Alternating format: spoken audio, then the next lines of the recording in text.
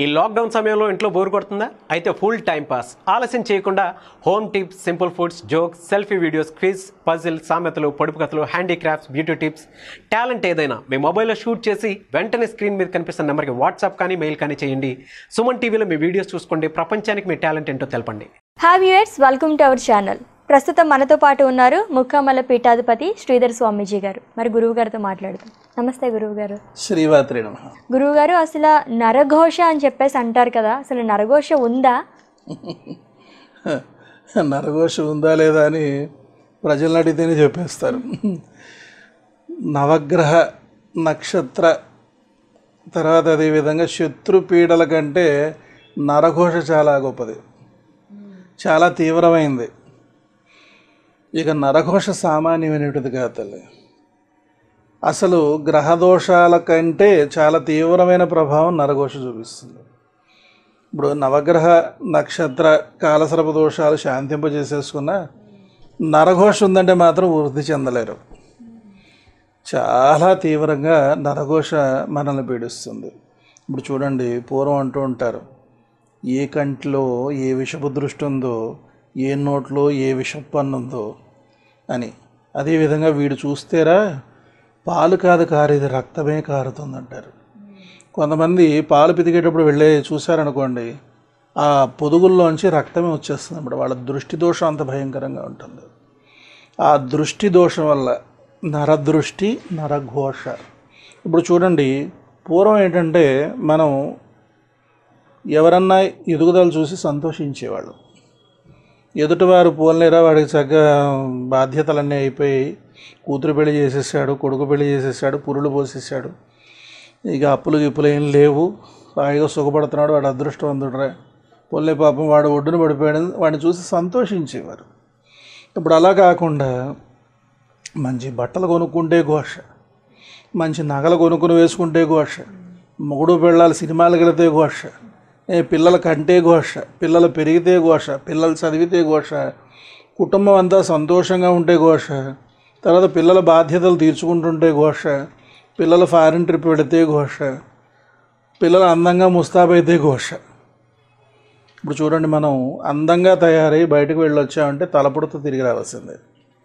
ఇక తర్వాత అదే అందంగా తయారయ్యి ఏ ఫంక్షన్ కన్నా వెళ్ళొచ్చామంటే ఓ వారం రోజులు పడుకోవాల్సిందే. ఇది దీనికి ప్రధాన కారణం ఏంటంటే నరఘోష అవుతుందన్నమాట. ఈ నరఘోష ఉన్నటువంటి వాళ్ళకి ఆరోగ్యం చెడిపోతుంది.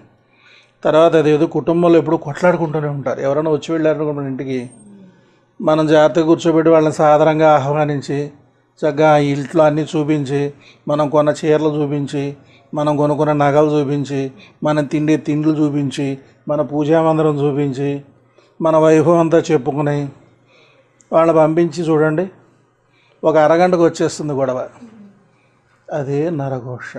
మరి నరఘోష ఎలా నివారించుకోవాలి గురువు గారు అసలు నరఘోషకి చాలా మార్గాలు ఉన్నాయమ్మా. అందులో ప్రధానమైన మార్గాలు మనం చెప్పుకుందాం. ఇక నరఘోష అనేది చాలా తీవ్రమైంది. అసలు నరఘోష మనం పొందకుండా ఉండాలంటే ఏం చేయాలనేది మనం తెలుసుకుని నివారణ మార్గం గురించి మనం మాట్లాడుకుందాం.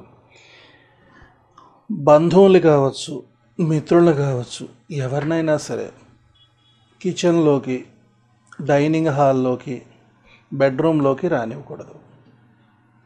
ఇప్పుడు చూడండి పూర్వం పని వాళ్ళని కానీ లేదంటే తెలియనటువంటి వాళ్ళని కానీ ఎవరినైనా సరే వీధి గుమ్మానికే పరిమితం చేసేవాళ్ళం.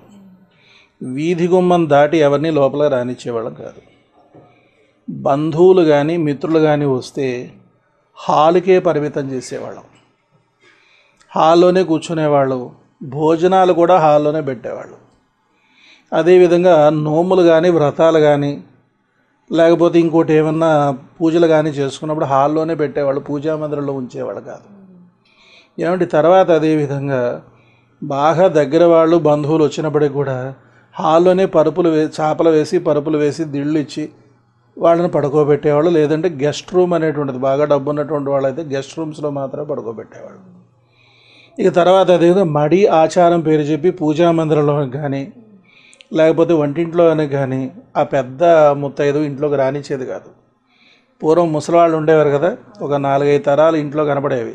అంచేత ఎవరిని కూడా లోపలికి రానిచ్చేటువంటి వారు. సింహద్వారం దగ్గర మడత కుర్చీ వేసుకుని ముసలాయన మడిబట్ట కట్టుకుని వంటింట్లో దొడ్డి గుమ్మం దగ్గర ముసలావిడ కాపలా ఉంటారు. ఇప్పుడు పెద్ద ఆయన ఏం చేస్తుంటే చేదస్తం అనుకుంటారు. కాదు పెద్దవాళ్ళకి.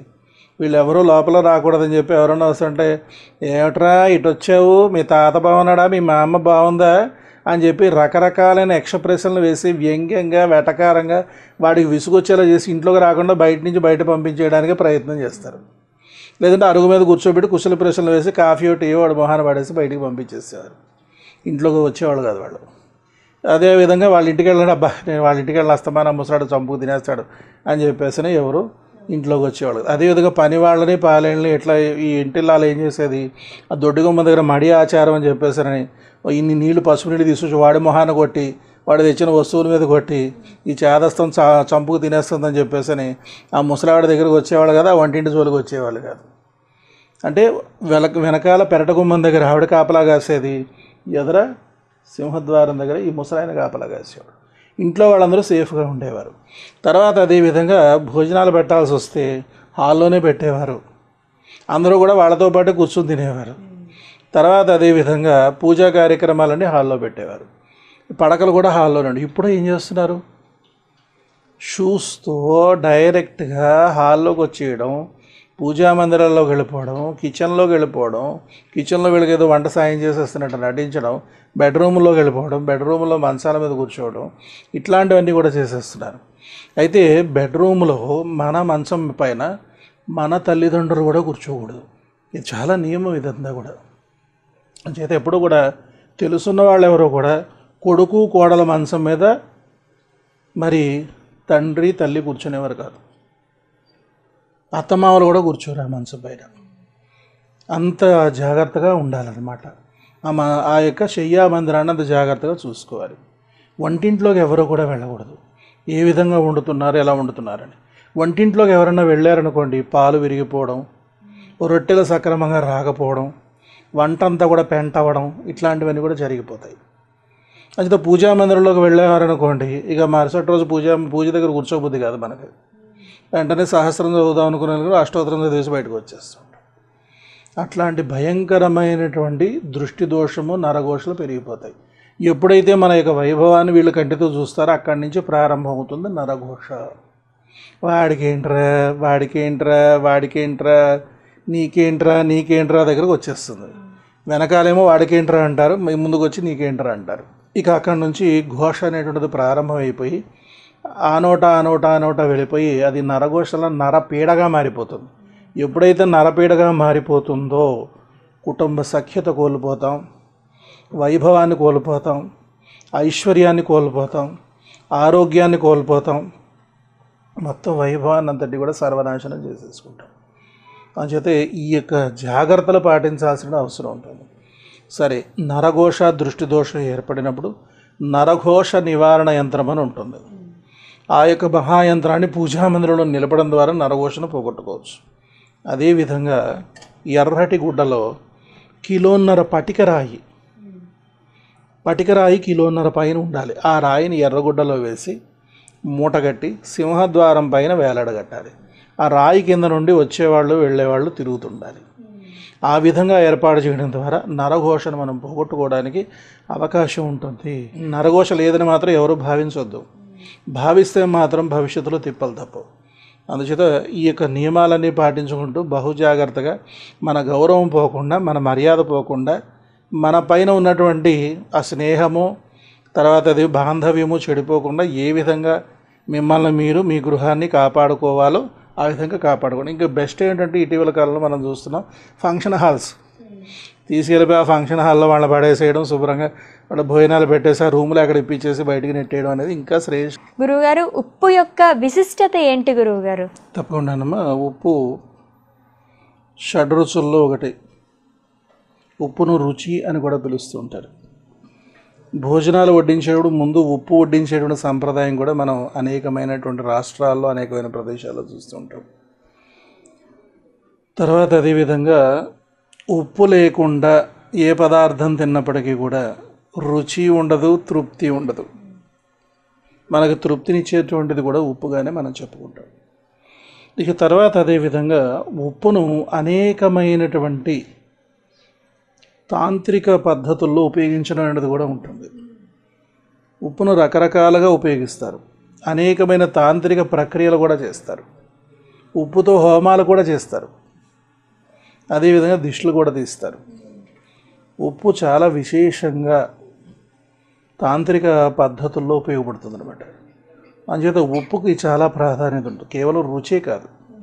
రుచినివ్వడమే కాదు రుచితో పాటుగా ఆరోగ్యాన్ని ప్రసాదించడమే కాదు. ఇక తర్వాత అదేవిధంగా మరి అనేకమైనటువంటి తాంత్రిక ప్రయోగాల్లో ఉప్పు ప్రధాన పాత్ర వహిస్తుంది. అంచేత ఉప్పు సామాన్యమైనది కాదమ్మా చాలా అద్భుతమైనటువంటి ద్రవ్యంగా మనం చెప్పుకుంటాం. అలాగే ఉప్పు చేత్తో ఇవ్వకూడదు తీసుకోకూడదు అని అంటారు కదా గురువు గారు ఎందుకని? ఇది యథార్థమైన విషయం.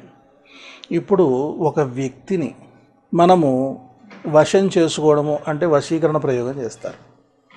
ఒక వ్యక్తి మన మాటే వినాలి మనమంటేనే ఇష్టపడాలనేటువంటి దానికి వశీకరణ ప్రయోగం అని ఉంటుంది. తర్వాత అదేవిధంగా ఎక్కడో దూరంగా ఒక వ్యక్తి ఉండిపోయారు. ఆ వ్యక్తిని మన దగ్గరికి రప్పించాలి. దాన్ని ఆకర్షణ ప్రయోగం ద్వారా చేస్తారు. అదేవిధంగా ఒక వ్యక్తిని ఊరు నుండి వెళ్ళగొట్టాలి. దానిని ఉచ్చాటన ప్రయోగం ద్వారా చేస్తారు. ఇద్దరి మధ్య విభేదాలు సృష్టించాలి. విద్వేషణ ప్రయోగం చేస్తారు. ఒక వ్యక్తిని చంపేయాలి.